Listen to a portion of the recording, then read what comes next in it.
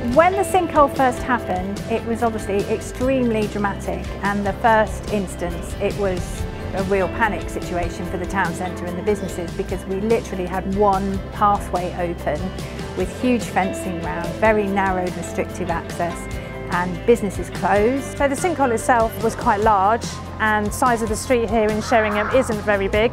So you can imagine that's affected the town here quite a lot. So all in all, it's three months of very complex, intense repair to get the road reopened as quickly as we possibly can. When we first got here, it was the wrong time of year, but there's no right time for a sinkhole to appear. But as the weeks went on, we got to know the residents, the uh, shop owners, got to know their delivery dates, worked in with those, and it seems to have worked very well together. We built up a rapport.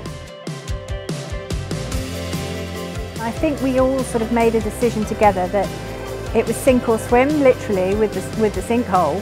And we made the decision that we were going to actually plug everything that we could about what had happened and bring people to Sheringham. I think they've acknowledged the importance of their town centre and hopefully that will help to sustain our town centre which is very independent at the moment for the future. I've never met a town like it. I mean there's always something going on. We've met some great friends up here. We'll definitely be revisiting here as well.